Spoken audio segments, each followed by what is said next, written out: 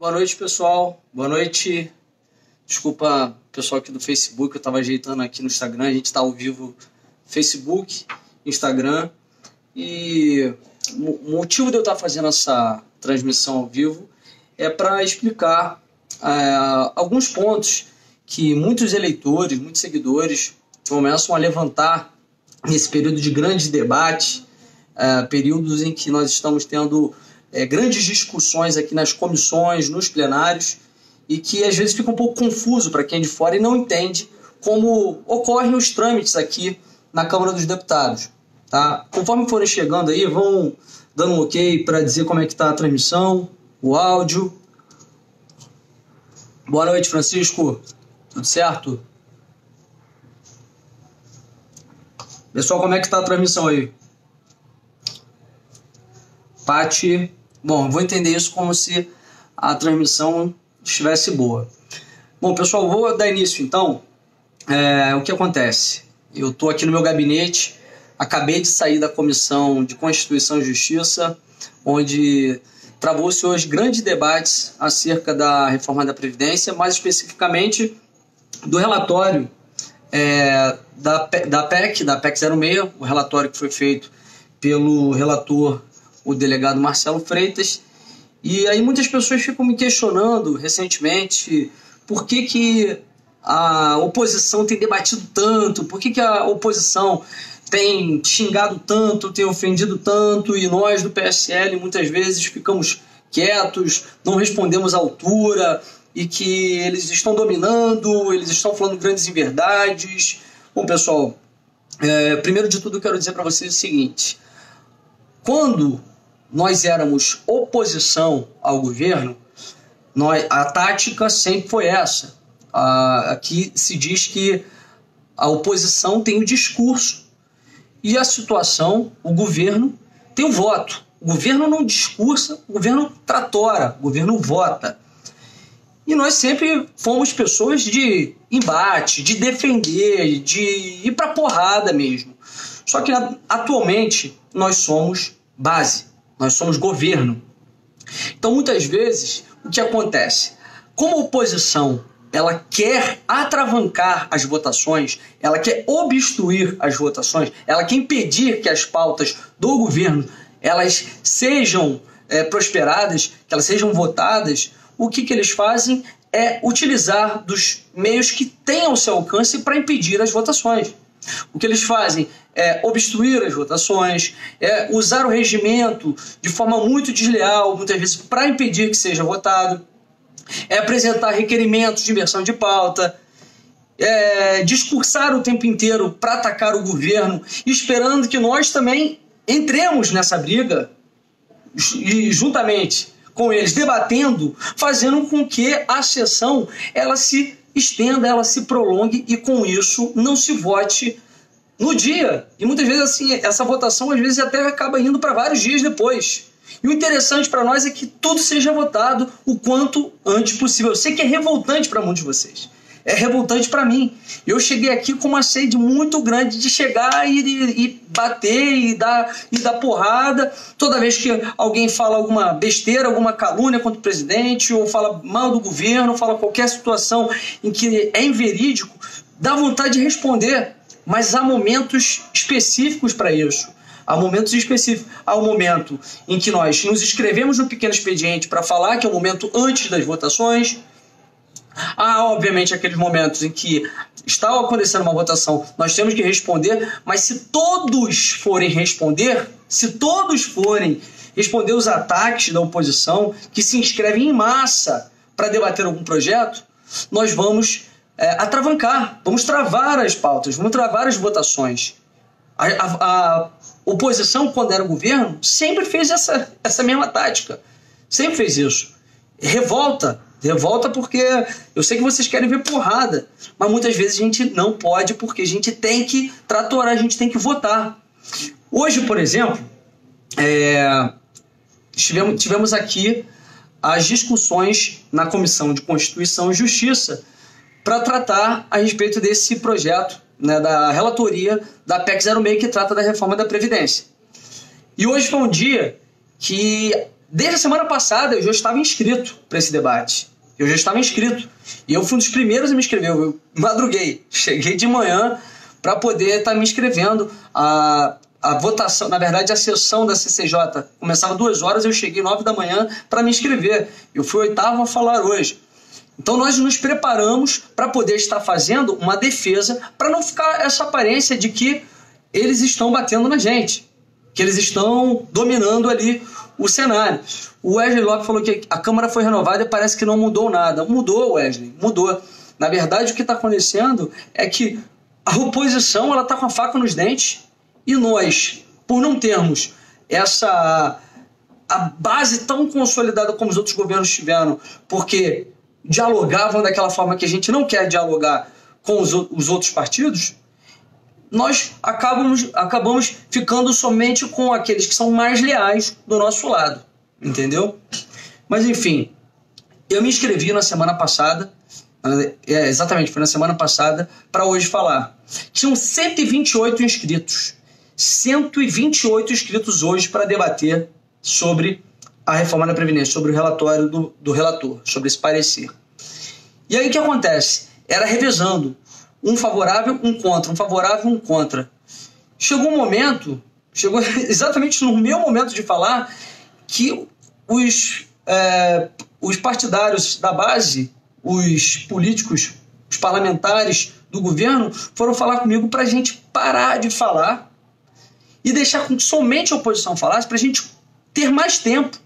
Porque eles fizeram as contas e a gente, se tirassem todos falando do governo, a gente teria uma economia de 9 horas e meia para poder votar hoje. Eu falei, eu não, eu vou falar. Dessa vez eu vou falar, porque meu eleitor está me pedindo. Meu eleitor fala, me cobra que eu fale sobre a reforma da Previdência. Pede que eu fale sobre a reforma da Previdência. E eu falei, eu falei, infelizmente, eu não sou membro da CCJ, eu sou eu não sabia que eu poderia ser membro da CCJ eu, pensava que somente advogados poderiam ser membro da CCJ isso inclusive é algo que está me incomodando muito porque muitas pessoas falam a sua a sua opositora que era vereadora ela está falando direto na CCJ ela é membro da CCJ eu não tenho voz na CCJ a não ser que eu me inscreva para algum projeto.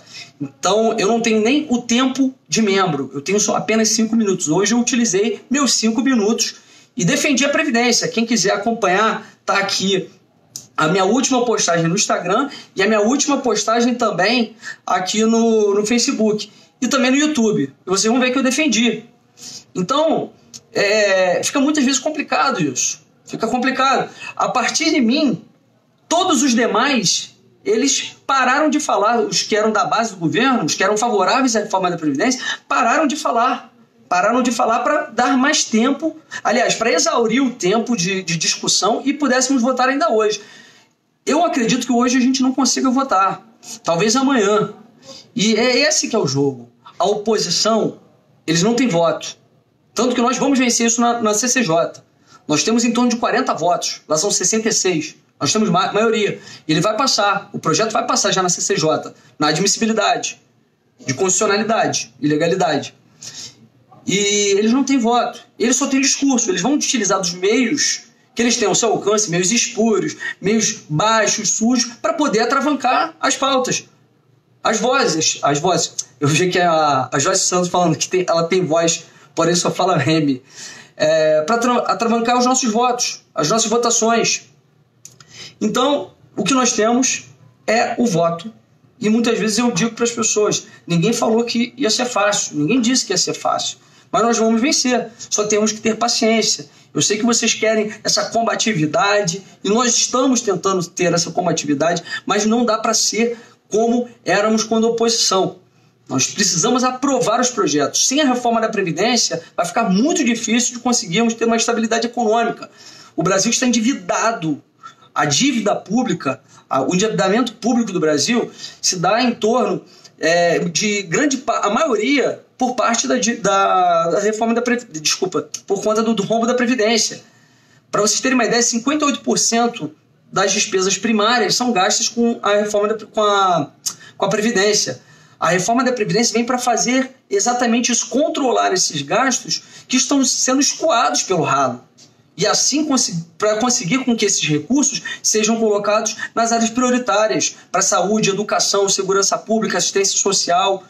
58% das despesas primárias. Isso em torno de 695 bilhões. 695 bilhões por ano do nosso orçamento é utilizado com a Previdência. Para você ter uma ideia, com educação se gasta 9%, com saúde, aliás, 9% com saúde, 7% com educação, 2% com Bolsa Família. Então ela é essencial para que a gente possa corrigir as distorções, porque ela também faz com que as pessoas que hoje ganham mais contribuam mais, as que ganham menos contribuam menos e fazer com que todos ganhem a mesma coisa. Inclusive, tem muitos parlamentares de esquerda lá que são dizem que ela não combate privilégios e que eles não abriram a mão de, das suas aposentadorias especiais. Um deputado federal, ele pode se aposentar depois de alguns mandatos, com aposentadoria integral com salário de 33 mil. Eu abri mão dessa aposentadoria. Eu abri mão. Agora, os parlamentares de esquerda que estão lá dizendo que essa reforma serve para não para tirar privilégios, mas para dar mais privilégios para os ricos, eles não abrem mão dessa aposentadoria. Então entendam, pessoal, que Hoje nós somos base e precisamos aprovar a reforma da Previdência e assim tudo ficará mais fácil. O, o ambiente econômico, o cenário econômico vai ficar muito mais favorável para a geração de empregos e até mesmo para a gente aprovar pautas de costumes, como o pacote anticrime do Moro e diversas outras que é tão, são tão necessárias e que são da vontade do povo. E aí agora eu vou responder algumas perguntas se vocês estiverem aqui. O Anderson Catoso falou Boa noite, Jordi. Parabéns por seu posicionamento firme hoje na CCJ. Abraço. Obrigado, Anderson. Tamo junto. A reforma é o combustível para o crescimento econômico e criação de empregos. Ricardo Guimarães, exatamente, amigo. Essa nossa reforma é essencial porque a nossa previdência ela já está sucateada. A, a, a previdência, muitas pessoas falam, não, e por que, que a gente não corta o dinheiro dos privilégios dos políticos? Por que, que não combate a corrupção? Se a gente conseguir acabar com, com a sonegação e com as fraudes, a gente consegue cobrir esse rombo. O problema não é esse. O problema da Previdência não é um problema de estoque, é um problema de fluxo. Se, se nós pagarmos todo o rombo da Previdência, se conseguíssemos, hipoteticamente, pagar todo o rombo da Previdência nesse exato momento, isso não adiantaria. Em poucos meses, não anos, o rombo da Previdência ia voltar. O problema ia voltar. Porque há um problema demográfico no Brasil. As pessoas estão nascendo, estão nascendo menos pessoas, a taxa de fecundidade hoje é muito menor do que alguns anos atrás, que era em torno de 4 em 1980, agora é 1,8. E a estimativa de sobrevida é muito maior. Isso é um grande erro também que a esquerda, de forma falaciosa, gosta de plantar, dizer que a expectativa de vida é de 65 anos e que o trabalhador ele vai se aposentar e já vai morrer ou nem vai se aposentar. É uma grande mentira. Não se faz o cálculo para a previdência, para a aposentadoria, a partir da expectativa de vida, porque a expectativa de vida ela é puxada para baixo naturalmente, porque a expectativa de vida ela é mensurada desde o nascimento. Então, há uma alta mortalidade infantil, por exemplo, no Nordeste, no Norte. Existem vários fatores de criminalidade, violência que fazem com que muitos jovens percam suas vidas, acidentes de trânsito. Então, obviamente que essa a expectativa de vida ela é menor. A expectativa de sobrevida é que deve ser o, o cerne para se mensurar o benefício da Previdência, quem recebe pode receber a previdência. Esse, a expectativa de sobrevida é quantos anos vai viver uma pessoa após ela estar em idade de aposentadoria. E no Brasil, de acordo com dados do IBGE, após 65 anos, a média do cidadão, até que ele, ele consegue viver mais tantos anos. E essa idade é de 81 anos, em média, com pequenas variações para cada estado. O estado com menor índice de sobrevida é Rondônia, se eu não me engano, Rondônia, e é 80,9 anos. E o estado com maior expectativa, maior expectativa de sobrevida é o Espírito Santo, que é 85 anos. Então é uma grande verdade dizer que as pessoas estão elas só chegam até 65 anos no Brasil. As pessoas que chegam até 65 anos, elas vivem até mais de 81.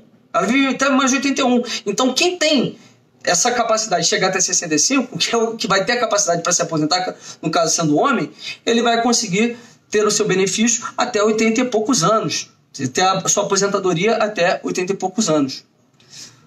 Uh, Júnior Duarte, por favor, seria muito grato se você puder responder a minha pergunta sobre a aposentadoria especial. Por favor, precisamos de voz sobre esse tema. Eu não sei se está falando sobre a aposentadoria especial da Câmara dos Deputados. E eu até falei sobre isso hoje no meu discurso. Esses políticos daqui, esses é, que falam com uma demagogia imensa, fazendo aqueles é, argumentos tão cheios de sentimentalismo barato, de que a Previdência ataca o trabalhador, que ataca o pobre e que concede privilégios, não combate privilégios, eu queria saber se eles estão abrindo mão das suas aposentadorias especiais. Porque a PEC ela só vai ter efeito sobre a aposentadoria especial de políticos para os próximos e não para os antigos. Então, todos esses que estão atacando, eles têm que abrir mão da sua aposentadoria especial. Eles têm que ser coerentes. Eu abri mão. Muitos outros abriram mão também. E tem que ser coerente, já que estão falando que não há privilégio, que não se combate privilégio, então haja dessa forma, haja com coerência. Meu camarada, cria um projeto de lei que obriga.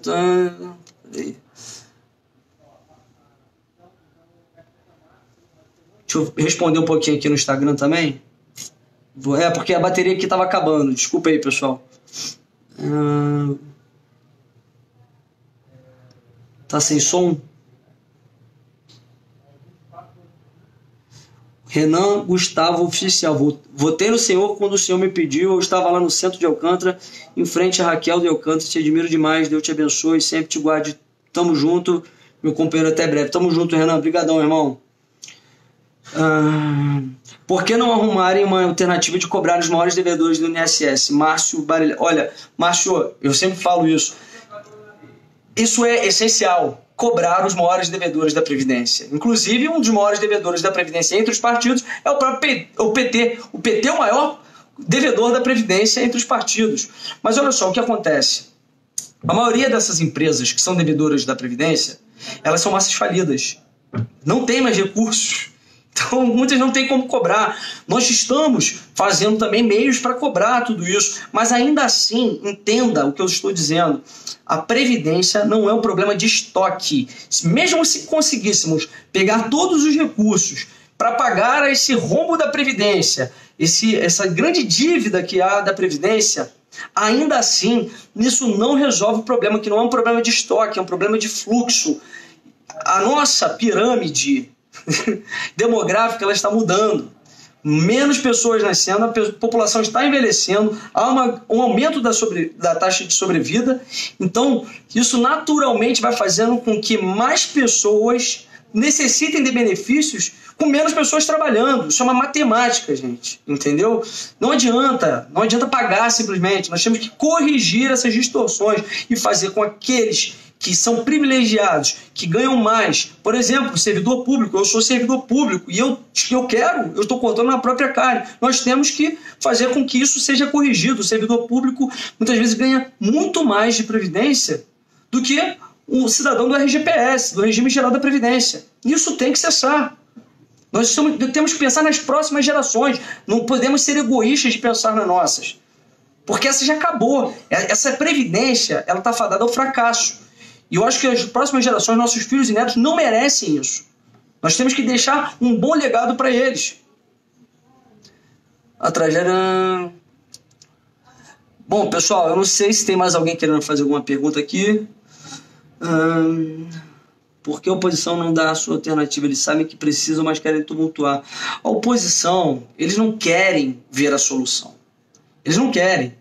Eles querem ver o Brasil pegar fogo, porque eles sabem que se nós conseguirmos, conseguirmos implementar essa previdência, que é uma ótima previdência, a, a, reforma, quer dizer, melhor do que qualquer outra reforma que eles já fizeram. Aliás, a reforma da Dilma foi desastrosa. Falei disso hoje no meu discurso. Desastrosa. Uma reforma tão desastrosa quanto os, os discursos dela, que falava que existia, por toda, atrás de toda criança existia um cachorro, de estocar vento, saudar mandioca. Aquilo ali foi o retrato dela, aquela previdência dela, a reforma da previdência dela. Eles não querem que nós façamos essa reforma da Previdência, porque se, se nós fizermos, eles sabem que eles nunca vão voltar ao poder, eles querem ver o Brasil pegar fogo.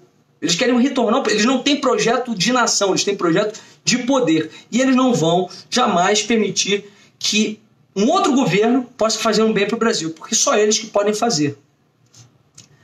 É, exatamente, ó, Wagner Sandra, a oposição quer o mal do país. Eles querem vir com uma solução só para sabotar o governo. Falou tudo, é isso aí, meu amigo. Ah, falta muito para a reforma ser votada no Congresso. Acho que o Rodrigo Maia vai atrapalhar. Não, o Rodrigo Maia não vai atrapalhar, não. Ele é a favor da, da reforma, mas vai, vai demorar ainda um pouquinho, alguns meses, né? Amanhã, ou talvez no máximo terça-feira que vem, vai ser votada essa admissibilidade da reforma, vai passar, isso está tranquilo, mas depois tem o mérito, então deve demorar mais um pouquinho, tá? Bom, pessoal, ah, peraí, Leozão RJ. Boa, boa noite, deputado. Grande prazer poder falar com o candidato que ajudei a eleger. Poderia comentar a censura do STF? Eu já postei sobre isso. É um absurdo. Cara. O STF nunca se mostrou tão totalitário, nunca mostrou realmente tanto a sua verdadeira face. É, são pessoas que se julgam semideuses acima do bem e do mal e que querem se colocar acima do, de tudo. Eles podem censurar, eles podem, eles perseguem opositores, eles soltam seus aliados, eles julgam, aliás, eles legislam, eles dão novos contornos às leis então, até agora, estão julgando lá, estão querendo julgar a ação direta de inconstitucionalidade por omissão 26, que trata de equiparar o racismo, a homofobia a racismo, querendo legislar. Eles são. Cara, eu não quero nem ficar falando aqui o que eu penso deles, porque é uma vergonha. STF é uma vergonha. É isso aí, pessoal. Tamo junto. Se precisarem de qualquer coisa, quiserem saber mais alguma coisa a respeito da Previdência, dos debates aqui da Câmara, entre em contato, porque eu, eu resolvi fazer essa live porque tinha muitas dúvidas das pessoas com relação a essa questão dos debates e também da reforma da Previdência. Então, precisando de qualquer coisa, podem perguntar, mandem aqui no inbox, ou então pode perguntar aqui também na live e depois eu respondo, tá? Eu acho que eu esclareci bastante coisa, pelo menos o que eu, o que eu queria esclarecer tá? Só para não ficar nenhum mal entendido, pessoal. Um grande abraço, tá? Fiquem com Deus. vou retornar daqui a pouco lá para a CCJ, apesar de não votar. E hoje só, são apenas discussões. Provavelmente será votado amanhã ou na semana que vem. A gente está sempre acompanhando por lá. Falou, pessoal. Grande abraço, fiquem com Deus.